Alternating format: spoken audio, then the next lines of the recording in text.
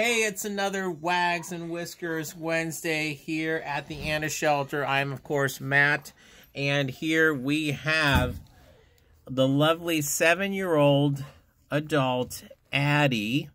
Um, Addie is, of course, a Siamese, beautiful cat, and I know we probably got some uh, Siamese cat fans out there.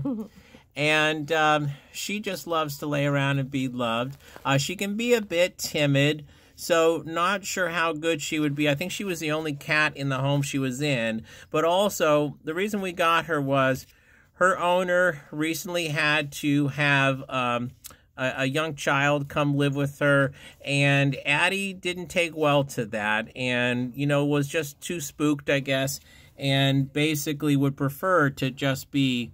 Uh, an only uh, object of the house, you know, an, an only owned cat, so to speak, maybe uh, you know just Addie and her owner, or yeah, maybe there's a couple out there without kids, and maybe the pet is your kid. So this could be it. Um, Addie still obviously got a lot of uh, life left in her, only seven, and she's very healthy.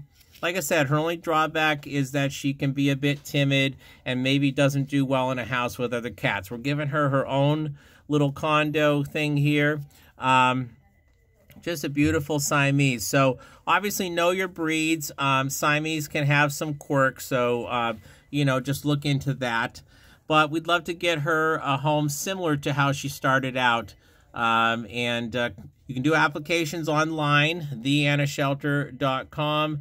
Uh, you can also come in now. Uh, we're doing more and more uh, walk-ins, and so our walk-in hours again are Monday through Friday, noon to 5, and Saturday, new walk in hours, noon to 4 going forward here on Saturdays.